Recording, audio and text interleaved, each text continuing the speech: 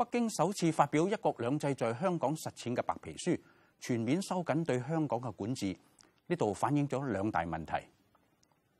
第一，北京係按照眼前嘅政治需要同埋現實嚟解讀一國兩制同埋基本法，完全將當年起草基本法嗰陣時嘅寬鬆、政治胸襟、內涵同埋承諾拋諸腦後。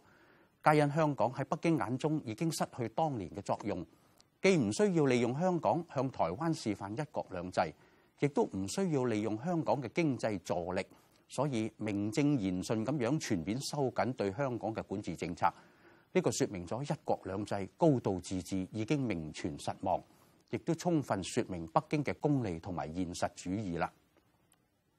第二，反映北京進一步將香港視為國際鬥爭嘅戰場。回歸之前，北京話要警惕香港成為顛覆中央嘅前哨基地。而家白皮書又話要警惕香港成為外部勢力干預中國內政嘅地方，顯示北京擔心歐美國家喺東歐同埋中亞地區進行嘅和平演變或者顏色革命，可能喺香港出現啦。呢種擔心係可以理解嘅，但係回應嘅方法就完全錯誤啦。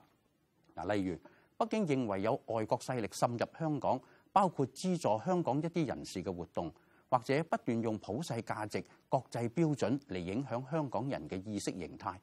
其實呢啲係國際政治嘅常態嚟嘅。中國有冇做同樣嘅事情呢？有冇資助外國嘅團體喺佢哋嘅國家裏邊做一啲有利於中國利益嘅事呢？大家心知肚明啦。嗱，可見。如果外國真係要搞亂香港同中國嘅話，只要中國攞出比外國更高明、更有凝聚力嘅策略同埋技巧，咁就唔使怕啦。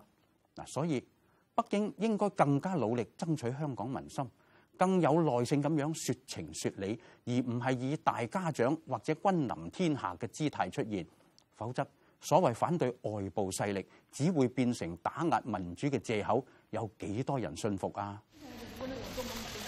梁振英話：呢個白皮書已籌備咗一年，唔係為咗打壓六月二十二號投票嘅。但係點解籌備咗一年而選擇喺呢個時候發表呢？咁就説明咗咩嘢呢？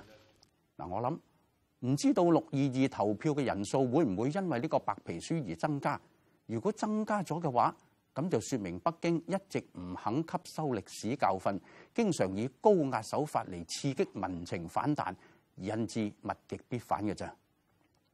嗱，講到底，如果中共仲唔適應民主時代嘅大趨勢，繼續以老黃歷嘅方法嚟管治現代化嘅社會，咁樣一國兩制，以致佢哋嘅管治基礎唔係死於外國人嘅手上，而係死於自己手上。